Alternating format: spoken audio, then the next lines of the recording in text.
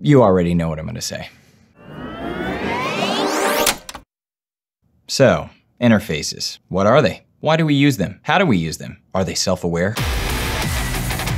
We touched on interfaces back in my last video about what microphone is best for you. You can find that video in the description below. But what does an interface do? An interface supplies power to the microphone. If you have a USB microphone, you can skip an interface altogether because a USB microphone goes directly into your computer. But if you have an XLR microphone, and that's what I recommend you have if you want to be competitive in the voiceover industry, you're going to need an audio interface to supply power to that XLR microphone.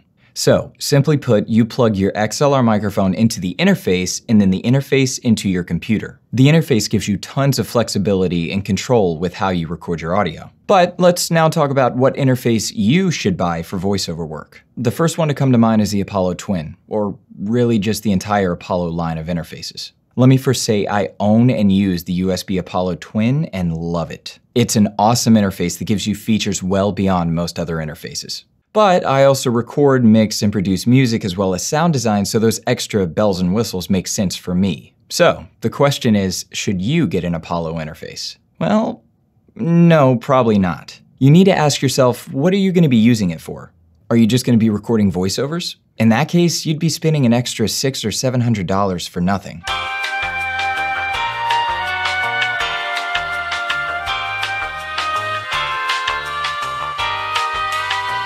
Most interfaces these days, all the big trusted brands like Steinberg, Audient, Focusrite, just to name a few, make amazing quality interfaces at extremely affordable price points. To further explain what I mean, let's talk about preamps. Well, first off, what's a preamp?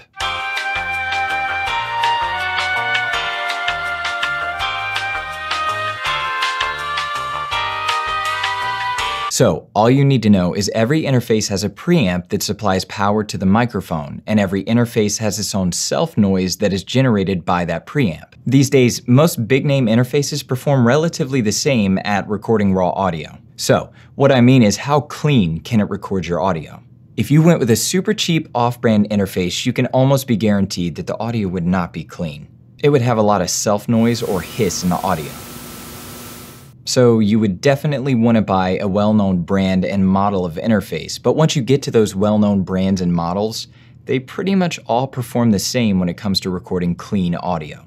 The incredibly minor difference between the interfaces wouldn't be heard by 99% of people. If you're only planning on recording voiceover, you might as well save yourself a ton of money and just go with something like the Focusrite Solo or the Focusrite 2i2 3rd Gen. Now, some people like to claim that the preamp inside the Apollo is cleaner and has a higher gain output than most other interfaces. In a real world scenario, that's just not the case. As I said earlier, I use the Apollo Twin at home, and here at work I use the Scarlett 2i2 3rd Gen, and that's what you're hearing right now. And the only difference you would hear in the audio here is the fact that I'm on a different microphone, and the space that I'm recording in right now really isn't treated, whereas I record in a treated booth at home. So, if you're recording live instruments or live sounds for higher end production work, then the Apollo Twin can be a game changer for your workflow.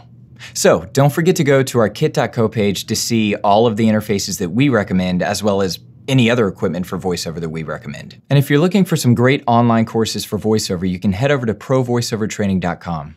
We'll be adding courses each month, so don't forget to go over to provoiceovertraining.com to see what's new. And if you're local, don't forget to call, go online, or stop by Atlanta VoiceOver Studio to see what classes we offer. And if you're not local, we offer all of the same live classes over Zoom so you can connect anywhere you want. And don't forget, you can book auditions and book jobs in our main studio at Atlanta VoiceOver Studio. And finally, we have this new thing called the Mic Shootout. You can come in, we'll take you back to our main studio, and we'll let you try out 10 high-end microphones to see which one sounds best for your specific voice. Then we'll give you a sheet that lists out all 10 of those microphones and alternative microphones that don't cost as much as the high end microphones, but they sound a lot like the high end microphones. So that way you can save some money. I hope this video has helped you further understand what an interface is, why we use one, and most importantly, which interface is best for you. If this video was helpful, please don't forget to give us a like and subscribe, and uh, well, you know what they say.